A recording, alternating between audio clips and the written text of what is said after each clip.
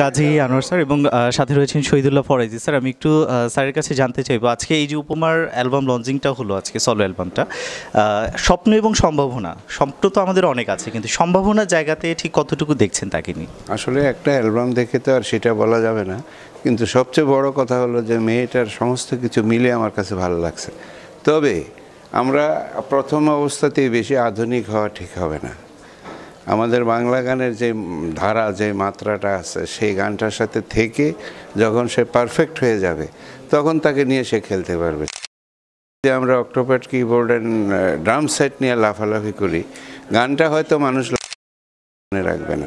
অতএব যাতে মনে রাখে, সেই ধরনের গান গাইতে হবে এবং সেই ধরনের গান গাইতে পারলেই ফেমাস হবে। আজকে শাহনাজ রহমতুল্লাহ সাবিনা ইয়াসমিন, কি রুনা লায়লা, তারা তো গান কম জানে না। কিন্তু কোন সমস্ত গানগুলো মার্কেটের মধ্যে সবচেয়ে বেশি তাদেরকে জনপ্রিয় করছে? সব ইমোশনাল গান। বাঙালি জাতি বা বাংলার মানুষ ইমোশনাল বেশি। অক্টোপেড কিবোর্ড হবে, একটা সিনেমাতে ছয়টা গান থাকলে একটা গান হবে ওই ধরনের।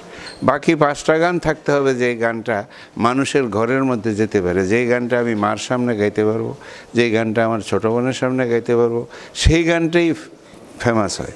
এখন তো তোমরা ইয়াং ও যখন আগের ঘটনা ছিল একটা গ্রামফোন রেকর্ড কিনলে একা বা শুনতো না।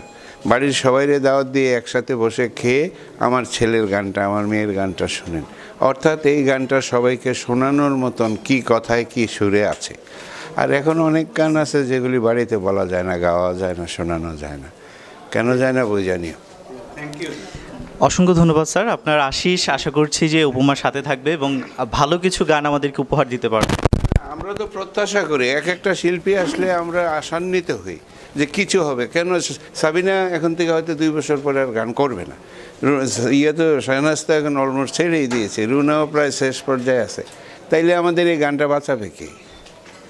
সবার কাছে, সবার জন্য তো আর গান একরকম হয় না, তারা বাঁচাবে কে? প্রচুর চর্চার দরকার। আর আমাদের দেশের মধ্যে যেটা আরেকটা খারাপ জিনিস আছে, সেটা হলো যেন একটা গান শিখতে হবে প্রথম ইয়ে দিয়া। টানপুরার থেকে। সপ্ত সুরের সমন্বয়তা যখন কণ্ঠে থাকে তখন সে যে কোনো ধরনের গান গাইতে পারে। আর যখন শক্ত সুর তাকে স্পর্শ করে না তখন আমার মতন সিঙ্গার হবে বাথরুম সিঙ্গার অসংখ্য ধন্যবাদ স্যার। Thank you